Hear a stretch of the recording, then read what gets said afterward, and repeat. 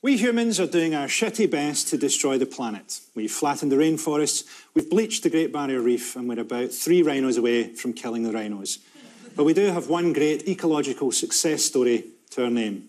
We have created super gonorrhea. We've barebacked ourselves a whole new strain of antibiotic resistant living fuck juice. and for that, we should be proud.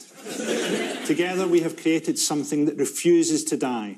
In a landscape of unremitting horror and destruction, we have fucked hope into a dying world. Super gonorrhea will be the one enduring legacy of human civilization. It will be our Sistine Chapel, our King Lear. But we can't be complacent. We must ensure our precious creation will survive the coming nuclear holocaust. It is our duty to transfer antibiotic resistant gonorrhea to cockroaches. This is how we must spend our last days on Earth, having unprotected sex with cockroaches.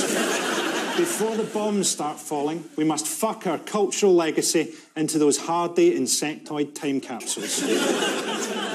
Even now, I'm speaking to you with a live cockroach sellotaped to the tip of my cock.